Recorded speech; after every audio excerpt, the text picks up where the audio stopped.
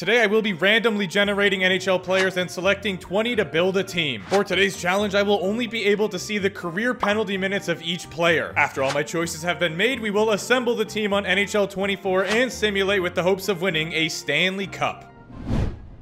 What up, Famalam? Today we're drafting by penalty minutes. A lot of penalty minutes could mean a lot of ice time, or it could just mean that, you know, they tend to get in a scrap or two. 809 is actually crazy, so we have to go with the middle card. You know what? That makes complete sense all of a sudden. In the middle, we have Jamie Benn. 809, we have Mercer on the left, Roslovic on the right. That's fine. Let's run it back. We have 232 and then two that are very similar. I can't tell you an exact reason, but the one that's down the middle, not the middle card, but the penalty minutes in the middle, calling my name. So we're going for the card on the right. How do we end up with this guy again? We get Brandon Saad on the right. I'm surprised. For some reason, I thought he'd have way more than that. Jake Guentzel on the left, 232 would have been fire. 72, have to take it. Great number. Those two are definitely up there. They're probably going to be better overall, but doesn't matter. We're going with the left card. As a matter of fact, we definitely take those. Jesper Bratt is joining the team. We didn't get Svechnikov, which would have been good. Tavares also would have been pretty good, but you know what? I'm happy with what we got. Only 72 penalty minutes. He's not that much of a brat, you know what I mean? For the sake that it's kind of following a pattern of the first three cards, and it is also significantly more than the other two, I'm going down the middle. See, this would have been a good time to take the player with the least amount. We get Perron in the middle, which again, 825 is crazy. Marnsey grittied his way into the right side of the screen. Then we got Frankie Tomatoes on the left. That's not a lot of penalty minutes, which could mean no, there's no way. Even if you are the most disciplined player in the world, you're probably going to take more than that. Wait, how many did Marner have? Was it 142? I already forget, but we're going with the middle. It was not Marner. We get Mojo, which is, you know, Eh. Oh dear. I just realized that I wrote down Marner. Who'd I actually get? New set of players. We get Ben Scrivens. We get 305. That seems like an area code. And we get 599. Just shy of 600. Yeah, let's go to the right. This has been the draft of misses so far. We could have had Vilardi on the left, we could have had Seguin in the middle, but instead we get Jordan Staal. He might be good in the face-off dot, but that's pretty much it. He is going to be a good depth player for us, though. 230, 59, and 205. I'm going for the most. We're going to the left card. Three solid players here. Tyler Toffoli is the one that we scoop up, and that is a-okay with this guy. Are we going to get anybody with a thousand? Jamie Benn had 900, so I kind of doubt it. Eight penalty minutes is very impressive considering I have the top 250 filter on. Could be a rookie. Let's go for the middle. No, man, come on. I've wanted Jimmy Stu for so long now, and we just can't get him. But we do acquire a Nick Robertson. Yay. 630 is quite a bit. They have sat in the sin bin for a decent amount of time. Part of me wants to take the 200, but I'm gonna you know what? No, 200's a nice flat, even number. We're going down the middle. That's okay. He's a pretty good overall, if I remember correctly. So we have Jared McCann in the middle. Max Domi, 630.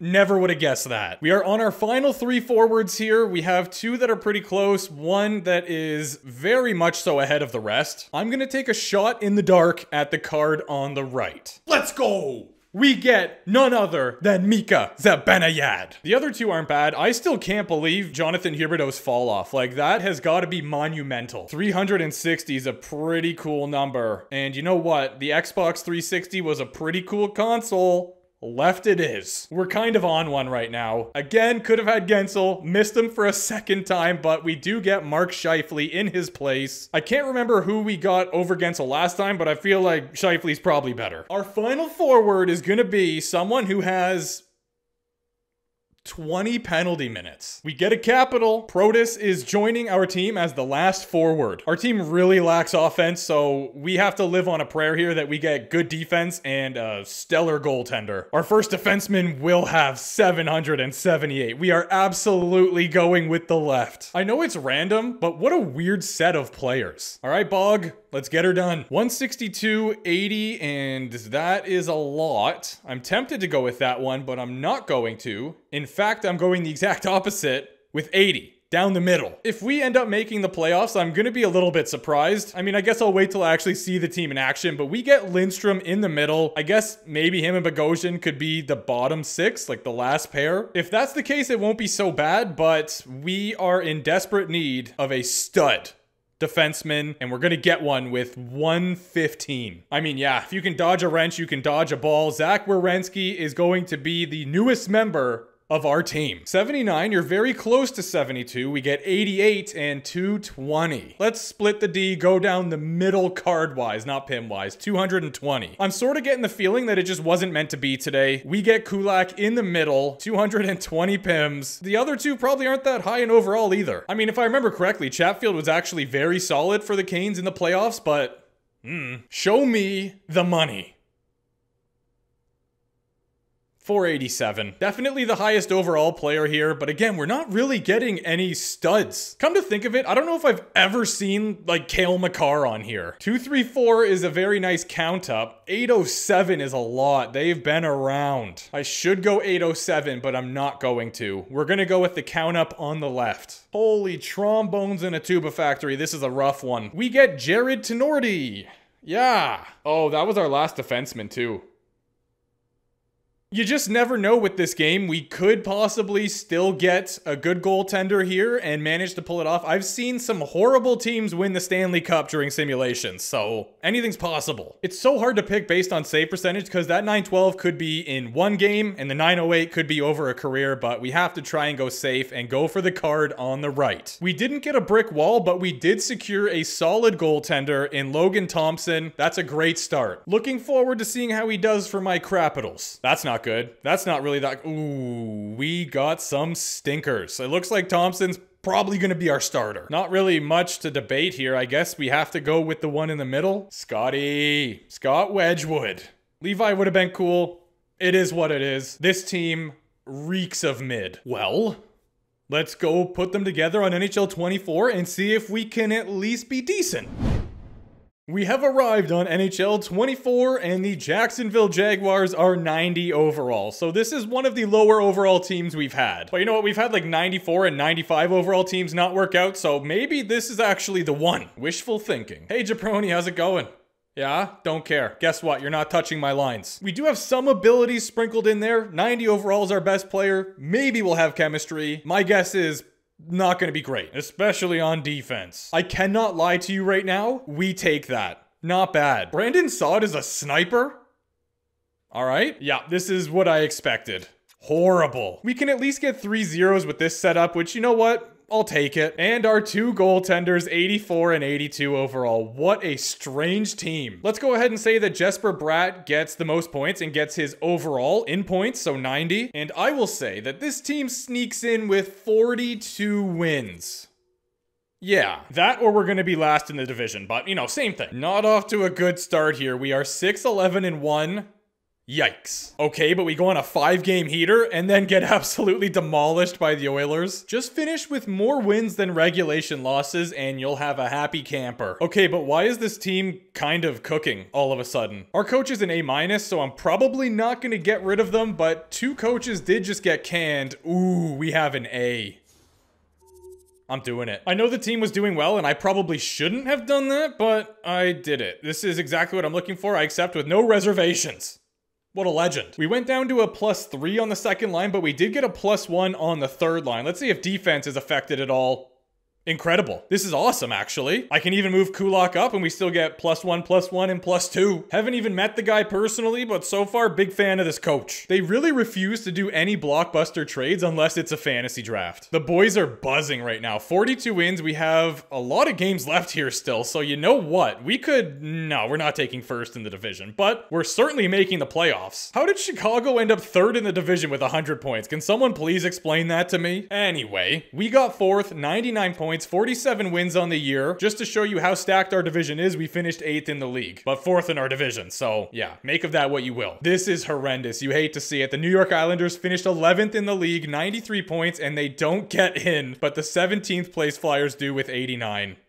Unbelievable. We nearly had a point a game player. Jesper Bratt had 81. He was also a plus 21. We've got some negatives down here, but clearly they offset. 39 points from Zach is decent. Dumba had 23. And yeah, our defensive core as a whole was not super talented. So whatever they did is acceptable. What a stud muffin between the pipes. Logan Thompson, 914 save percentage, 281 GAA. Scott Wedgewood also did very well. For a backup, we take those numbers. Georgiev definitely had the most wins. Wasn't even close, but he only had a 902 save percentage, which is not good. The nervous guy that we actually could have had put up a 918. Cale Makar, the individual that I name dropped during our draft, led the league with 97 points for defensemen. He and Roman Josi were the only two defenders to be point a game. And Samwise is going to win the Art Ross, and it kind of looks like the Rocket Richard, which is very interesting. Tkachuk is right there, 109, and then Bedsy. That explains why Chicago did so well. Yep, he did get the Rocket Richard. Connor was right behind behind him. And then we got a couple 61s there as well. Tage Thompson went off. He's already up to 92 overall. Shocker. Gee, I wonder who's going to win the Calder. No blockbuster trade, so I'm just going to go for it. I think we do have one player from St. Louis. Solid? Yeah, I think that's it. Could have had Binnington again, but nope. First three games, everybody knows the rules. Let's see how we're doing. That's a good start. Ooh, ooh.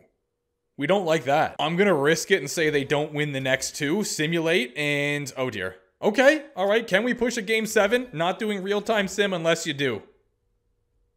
Impressive. Here we go.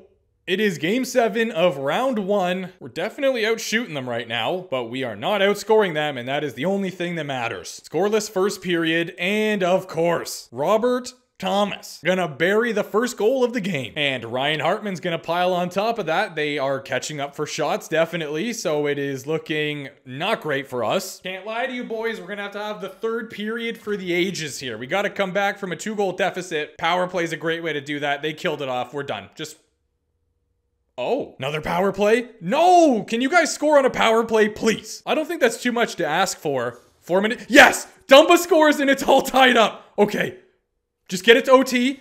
Golden goal. We have to have the momentum, right? Obviously, the intermission kind of kills that, but Yes, let's go! Perron scores and the Jacksonville Jaguars move on, baby! I'm gonna keep it real with you. I was like 92% sure we were French toast. But the boys did it. They proved me wrong. First three games, everybody knows the rules. Florida's gonna be a tough opponent. Yeah. Okay, so we're currently down. Let's sim the next two and hope they don't win them both. They won them both. Your Stanley Cup champions are the Edmonton Oilers. They came so close this year, but in this sim, they got it done. Colorado Eagles Calder Cup champions. All right, so I do see that Jesper had his guy, but how about Matt Dumba? 10 points in 12 games and 5 goals? What a mad lad. Ben Toffoli, Scheifele, a trio of nines, and then we have Werenski with eight. I don't know why Zib didn't do well. Our four other defensemen did approximately nothing, and Logie did not carry his season performance into the lofts, an 888. Absolutely unacceptable. This guy always sims so good. 921 save percentage for Stewie, 924 for Igor, Bobrovsky had a 932. Holy. Cale just continuing to be a stud because that's what he does. 24 points in 17 games, incredible point a game for Forsling down here. And what does the Fox say? Very close. I assume they're going to give the Conn Smythe to McDavid with 26 points. You could argue that it belongs to Stewie, but they won't do that. The Breadman did in fact go crazy. 28 points in 22 games. Not too shabby. The Art Ross goes to Reinhart, but the heart goes to Chucky. So it is split. Cale Makar gets the Norris. Yep, Reinhart adding another trophy. He scores the Lady Byng, the Calder, as we already knew, going to Bedsy. They did award the Conn Smythe to McDavid. Binnington gets the Vezina, and Talbot gets the Jennings. Hmm. Bill Masterton awarded to Radko Gudas, whereas Konopka gets the Jack Adams. Crosby gets the Selke. I feel like he wins that a lot. Another trophy for Tkachuk, and another trophy for Reinhart. Here's your playoff tray if you want to see it. We almost had a Florida Edmonton final, but the Rangers just beat them out in seven. Well, thank you for watching. As always, appreciate you. If you could leave a like and subscribe, I'm not going to complain. And on that note, I'll see you soon.